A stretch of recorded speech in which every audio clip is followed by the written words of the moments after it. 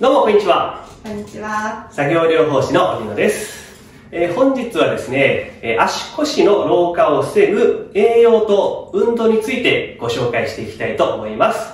えー僕はですね、えー運動はたくさん投稿してるんですけど、栄養面がですね、全然もう勉強不足で、今まであんまり、えー投稿できてなかったので、今日はですね、栄養の専門家をお招きして、えーこの足腰の老化を防ぐ栄養面のお話をいただきたいと思います。今日お越しいただいている、えー専門家の先生のご紹介をさせていただきたいと思います。えー国際中医薬膳師としてもご活躍されている尾形直美先生です。尾形先生よろしくお願いします。えーじゃあ早速ですね、あの簡単な自己紹介をいただいてもよろしいでしょうか？はい、わかりました。改めまして、国際中医薬膳師の尾形直美と申します。どうぞよろしくお願いします。お願いします。私はあの薬膳のお料理教室ではなく薬膳の理論を家庭のご飯で実践できるように身近な食材を使った薬膳料理ができるようにということで薬膳の講座などを行っております。はい。はい、ありがとうございます。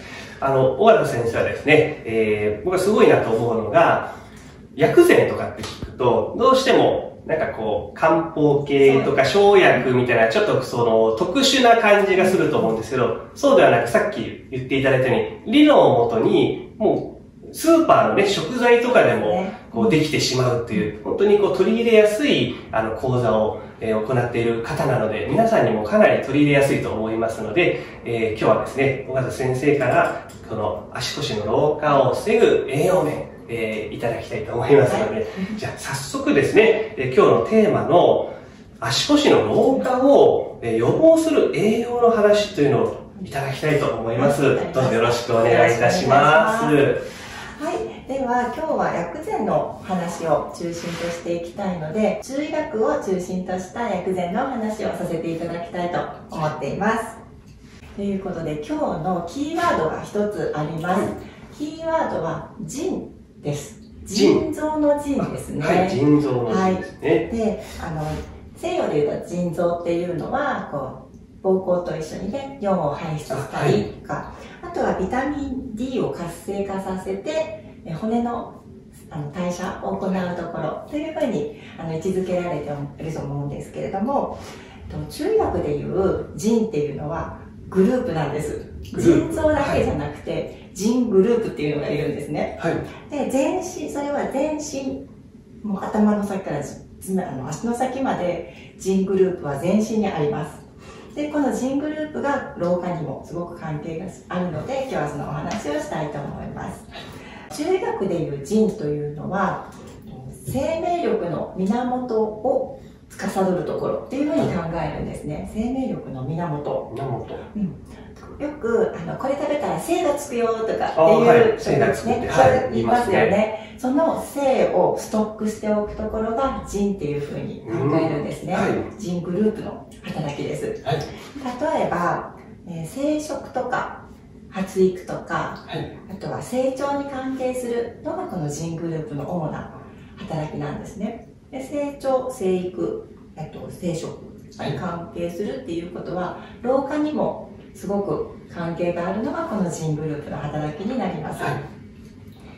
でこの腎の弱りが出てきた時にどういうところに出やすいかっていうと髪の毛薄くなったり、あー。白髪になったり。はあとは骨ですね。骨が脆くなったり歯も骨グループのあはい。一つなので、歯が脆くなってしまったりとか。あとは耳ですね。い。耳。も腎グループなんですへであの年を重ねていくと耳ってやっぱり遠くなってしまったり、あと耳鳴りがしやすくなったりするのもやっぱり年を重ねて腎が弱ってきたからというふうに中医学では考えていきます、うあともう一つは足腰のだるさに出やすいっていうのも腎グループの特徴ですはい。でまさに今回のテーマの足腰ですね。テーマですねで今回の足腰を強くしたいとか足腰の老化を予防したいっていうことは腎のグループを強化しましょうという食材を今日は食はいお知らせしたいと思っています。はい。ありがとうございます。先ほどね、あの、骨のところとかも話が出たと思うんですけど、やっぱりこの、ご視聴されてる方で、あの骨粗鬆症とか、はいやっぱ骨でね、えーお悩みの方も結構いるんですけど、そういったジーングループを強化すると、はい。そういった骨粗鬆症とかにも、まあ、いい影響というか、そうですね。あの、はい。ジングループは、うん足腰、骨、ね、老化防止っていうところで全部キーワードが入ってくるので、骨粗鬆症などにも予防が期待できると思われます。かなりですね、あの骨粗鬆症で、長年お薬は飲んでるけど、なかなか良くならないっていうお悩みの方とか、結構コメントも来たりするので、はい。えーじゃあ早速その気になる食材のところをじゃあいただきたいと思います。はい、わかりました。はい。ジーングループ、実はこのグループに色の担当があるんです。色？色、カラーですね。はい。よく老化防止の食材って黒の黒い食材って老化防止だよとか、はいアンチエイジングの食材だよって言われることが多いんですけどまさにこのジングループが担当が黒なんですはい。なので黒い食材っていうのを心がけていただきたいなと思ってるんですね。はい。荻野先生、はい。黒い食材何を思いつかれますか？僕はよく食べてるのが海苔になります。はい。いいですね。あとね、はい。あとは黒豆とか、ごまとかですかね。はいそうその辺も全部グジングループなんですはい。で黒い食材他にはよくねあの中華で使われる黒いキクラゲああ、キクラゲ。キクラゲとはか、あと黒酢なんかもねいいとてもいい食材になりますあと黒い食材先生今海苔とおっしゃったんですけど、はい海藻類っていうのもジングループによく含まれている食材なんですねい。はい。えー他には昆布とかはいわかめとか、あとはもずくとかひじきとか。はい。うんああいう黒いもの。黒いものなんですのりね。も含めてジングループの食材になります。あとはねあのお野菜で言ったらごぼうとかはい。干し椎茸とかも、ごぼうとかも黒になるんですね。うん黒いチームに入ってきます。あとはよくくるみを食べたらボケ防止にとかね、はい。聞きますけどくるみも OK くるみも。うん、くるみや栗もおすすめをしています。でこれがね割と黒いチームになるんですけど、はい。もう一個先ほど言ったジンを補うようなグループもあります。でグジンを補うグループのものとしては山芋よくネバネバで精がつくって言われますよね、はい。それも山うん芋です山ね。芋いいですねであとは山芋の赤ちゃんと言われてるムカゴ、むかご。うん、あ山芋のね赤ちゃんみたいなものなんですけど、はい。それも、えーとても精をつける食材として、はい。あのおすすめをしています。皆さんだったら知ってるかもしれませんね。ご存知、の、ご存知の方はぜひ食べていただきたいなと思ってます。あと、お野菜で言ったら、えっと、使いやすいところで言うと、カリフラワーとかブロッコリーもジンを、はい意外とジンを強化する食材として、私はよく使っています。あうんあ、カリフラってでも真っ白な。あ、そうなんですよね。ねうん、だから効能としてジンを補いますよっていうグループになります。はえー魚介類先ほどねのりとかいろいろ海藻類も言ってたんですけどエビとかホタテもあの老化防止にいい食材ですい。エビとホタテ。エビってはい海の、ねオイルって書きますよねでお祝いの時とかにエビを使われるのは、腰が曲がるまで長生きするよっていう意味の。エビですから、エビもあの腎を補う長寿食材としておすすめをしています、でエビもホタテも干したものとかよくありますよね。干しエビとか干し貝柱みたいな、はい。もうすごくあのおすすめの食材になります。は先ほどお話に出た骨粗鬆症の、はい。あのにおすすめのようなメニューをちょっと考えてきました。で骨粗鬆症ってあのビタミン D とかカルシウムとか西洋医学的な栄養素ももちろん必要なんですけれども、運動も必要ですよね先生。そうですね。やっぱり足腰をしっかり鍛えないとっていうところで。ね、そうそれであのそのホルモンだとか血っていうのは血流に乗って、ね、動いていくので、まあ、血流の流れ巡りを良くするっていうのもあの漢方とは漢方的にはすごく得意なところでもありますので、あのそういうの食材もお伝えしたいなと思います。はい。で血あの血流の流れを良くするには血管のね若々しさっていうのもすごく大切なキーワードになってくると思います。ね血管の若々しさを保つ食材として大豆とか大豆製品が、あのよく挙げられます。なのでお味噌とかはい、あ、味噌ですね。おお豆腐。はい。あとは牛乳苦手な方は豆乳。ね、うん豆乳も、うんあの大豆製品としておすすめができます。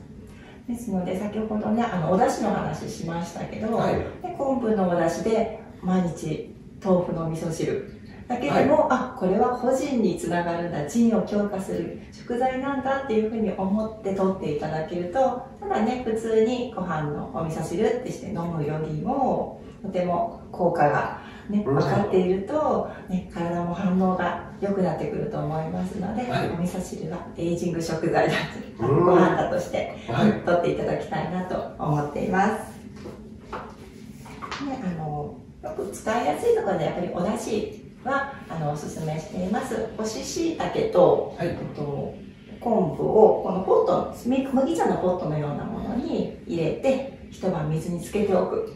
それだけで翌朝、ね、それをつあの使うだけでいいのでそういう使い方もあの腎の強化につながると思います。はい。もしそこにカルシウムをやっぱり入れたいわっていうことであればいりこ煮干しですね。煮干し。を入れたりするのもいいんじゃないかなと思います、前作ったメニューとしては、えっと、さっき言いましたあの腎を補うカリフラワーを使ってポタージュスープ。カリフラワーのポポタージュ。ュスープはいですね、をちょっとご紹介したいなと思います。で使うものはとカリフラワーと豆乳、はい。あとはここに昆布だしを使いたいですね、でえバターやあバターを使っていきます。はい。で、えっと、カリフラワーをさっと炒めてもう昆布だしでちょっと柔らかくなるまで煮ます、そしたらもうミキサーとかで小さく潰して豆乳加えてちょっとね塩コショウとかバターとかで味付けをして最後に何かを乗せたいです上に。トッピング、はい。黒ごまとかくるみとか。そう。黒い食材。をそうですね。そういうのも上からパッパッとかけていただくだけであ腎にいい食材いっぱい使ったスープができるねっていうことで私はこういうふうに、あの講座などでお伝えをしています。なるほどですね。本当、今までのね、話ずっと聞かせていただいて、一つも生薬とかの話が今出ないので、出本当に、あの、もう自分、僕でも、もう想像できる食材ばっかりなので、そうですね。生薬すごはい。く効き目があるんです、だけど手に入りにくかったりとか、ね。買ったはいいけどこれどうやって使うの、えこれもういつまで使えるの？みたいなことになっちゃうとやっぱり続けられないとねもったいないですし、はい。日々の生活が生活とか食事が一番大事ですので続けられるようコツコツコツコツ、うん、やっていただきたいなと思っています。本当に分かりやすい 説明をいただいて、助かりますね、本 では、えー腎のあの足腰強化の件で、よくあの尿トラブルとかもねあのお聞きをお聞きするんですけども先生のところにもご相談とかありますか、あ、そうです。まさに腎臓系というか、あの、尿のところで夜間の頻尿で夜、うん。なかなかね、こう寝れず何度も起きちゃうとか、そういう方もたくさんいらっしゃるので、はいね。やっぱりそういったご相談も多いですでね。すよね。あの腎グループ先ほど言ってましたが腎のあの腎臓そのものの働きとしての腎グループ。はい。うん。尿のトラブルなんかも腎グループの働きの一つなんですね。ですのでこの頻尿にしても、はい。あとは尿のトラブル尿の出が悪いっていう方もいらっしゃると思うんですけど、このたくさん出てしまうとか頻繁に出てしまう全然出てしまわない、ね、出る出出にくいっていう方、どっちも全然逆の立場なんですけど原因はやっぱり腎が弱ってきてるっていうのが原因なんですね、ですのでやっぱりその尿のトラブルも腎の強化がはい。必要になります、で昔から言われているこう夜夜間の頻尿で眠れないとかいう時のおすすめの食材が銀杏と銀杏？はいはい。もち米なんです。えこのなんかあのこれはお子さんのおねしょとかにも、ねはい。使われてた食材だそうです、えー。あそうなんですね。そう昔からねあの夜間の尿のトラブルにいいって言われてます。あ、そうでしたか。ただあの銀杏ちょっと毒性があるんですよね。たく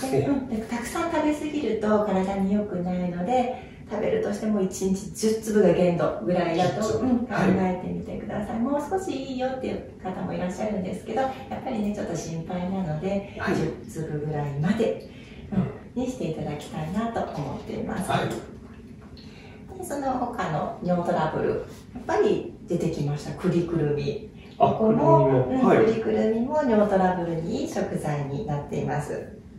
であとは砂肝砂肝も、はい、私も好きでよく食べるんですけど、あ尿漏れにいいですよって言われたりしてます、ですのでこういうのもちょっとあの選んでいただけるといいかなと思っています、はい、あまりねちょっとなじ馴染みがないかもしれないんですけどハスの実ハスのお花の実ですね。はい、ハスの実。初めて聞きました。ハスの実。そう、あの、ハスのお花の真ん中の点々があるんですけど、はい、そこのハスの実もあの尿トラブルにいいっていうふうに言われてる食材の一つになります。やっとなんか漢方っぽいのが出てきたんでしょう 初めて。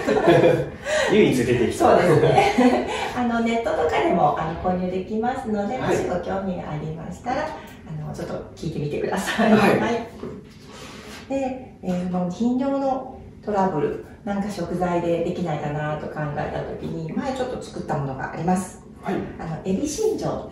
あのをちょっと作ってみたんですけど、はい、山芋ね、あの腎を補う山芋のすりおろしに、エビをちょっと細かく砕いたものとか黒きくらげを混ぜて、ね、あのちょっとお団子状にしてちょっと蒸します、でそこにあの銀杏をね水煮の銀杏がよくスーパーなんかで売ってますのでそれをのせて、おすましにね、するとかお出汁に入れて食べるっていう形でエビ新庄もい。いかなと思っています。なんか夜寝る前には水を取らないとかね、そういう無理やりな対策しちゃってる方もいるので、まあそういう根本からこう解消できる方法だったり、身近な食材からのレシピをこういただけて、本当に参考になります。もう、あの、いつも毎日のようにね、少しずつ取り入れていただいて、こう、性をね、ちゃんとストックするようなイメージで食べていただけたらいいんじゃないかなと思っています。はいで足足腰って冷えやすいですよね。冷えは本当に多くの方が悩んでると思います。そうですよね。ジンは冷えるのが大嫌いなところなんです。はい、生命力の源、エネルギーのところなので、やっぱり熱源のようなイメージですかね。はい、うん、ですので、足腰は冷やさないように、そして巡りが良くなるように、しっかり荻野先生の運動で皆さん体を動かしてみてください。この動画の最後にね、僕の体操が待ってますからね。はい要するに、あの、ジングループを、はい、あの、こうやって強化していくと、うん、それが足腰の、あの、冷え防止にもつながってくるということで。熱を生むエネルギーが、ね、生きるエネルギーが生まれてきますので、はい、根本的にこう体を温めることができるようになってくるので、はい、ジンはしっかり補ってもらいたいですね。本当、ぜひですね、あの、今までですね、冷えるからと、足に北海道ね、貼るだけだったという方とかも結構いらっしゃると思いますので、今のお話をぜひ参考にしていただければと思います。はい。いや、小川先生、これまでですね、たくさんのあのレシピから、えー、たくさんのお話いただきまして、本当にありがとうございます。やはりですね、えー、多くの方がですね、こういうお話聞くと、あのどのぐらい食べたらいいんだとか、そういう量も結構気になると思うんですけど、やっぱりこう一人一人全然違うと思うんですね。そうね。なんかそういう本当に気になる方、小川先生になんかこう聞いてみたいっていう方いらっしゃる場合に、何かこうご連絡というか、なんかありますか？はい、えっと、公式 LINE とか、はい、あとはインスタグラムなどで情報を発信しておりますし、あとは個人的にあの個人相談っていう体質相談なんかもできますので、こちらをご利用いただけたらいいなと思っています。その小川先生のあの連絡先というか、はい。はい、あのそういった相談をしたい方は概要欄の方にですね、はい、えー、その連絡先をあの貼っておきますので、ご興味ある方とかは、そちらの方で先生に直接あのご相談いただければと思います、よろしくお願いします。小川先生、ここまでたくさんご紹介いただいてありがとうございます。ありがとうございました。えー、皆さんもね、ぜひですね、栄養、体の中からですね、しっかり整えて、足腰の老化を防いでいきましょう。では、この後はですね、僕と一緒に足腰を強化する体操をやっていきたいと思います。どんな運動なのか一緒にやってみましょうそれではですね、足腰の筋力アップに役立つ運動を2つご紹介していきたいと思います。まず、掴まれる場所などを用意していただいて、そしたらですね、このように足を持ち上げて屈伸をします。そして反対側も持ち上げて屈伸を行います。このようにですね、足上げをすると股関節のももの筋肉、大腿四頭筋、そして腸腰筋という筋肉が働きます。そしてですね、大事なのが、一瞬片足状態になりますので、支える力もすごく強くなってきます。そして屈伸を入れることで、しっかりと足腰の支えが強化されるので、もも上げして屈伸。もも上げして屈伸というのを行って足腰強化していきましょう。ではですね、こちらですね、10回行っていきます。では、いきますよ。せーの。1、2、1、3、4、1、5、お、ろう、く、し、ち、は、ち、9、う、10、うっと。OK。もしですね、10回で足りないという方は、もう1セット行っていただいて、自分の体力に合わせて回数は調整してみてください。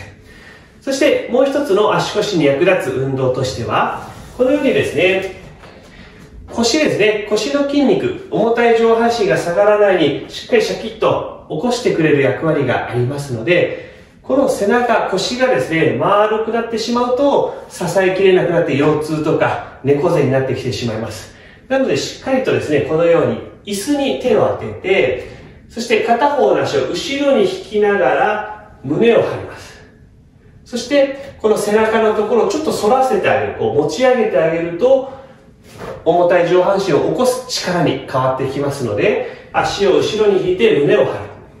足を後ろに引いて胸を張る運動をしていきましょう。では、こちら10回行っていきます。では、いきますよ。せーの。足を引いて胸張って、1、2、3、しっかり腰をちょっと反るような形ですね。4、1、5、お、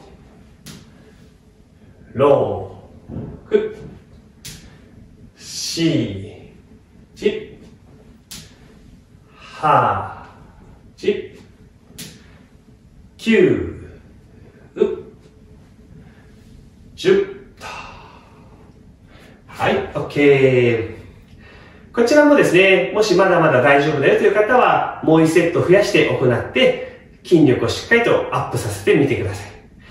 はい、このようにですね、足腰の強化、支えに役立つ運動を今日はご紹介させていただきました。栄養と運動をしっかりと見直して、足腰をいつまでもね、力強く、えー、支えられるようにしていきましょう。このようにですね、健康に役立つ運動方法、これからもどんどん紹介していきます。え他にもですね、過去の動画で、お家の中でも体力アップができる運動など、えたくさん紹介しておりますので、もしよければ、え過去の動画も確認してみてください。この動画の最後でね、クリックできるようになっております。はい、それではですね、今日はこれで終わりたいと思います。また次回の動画でお会いしましょう。それでは皆様、お疲れ様でした。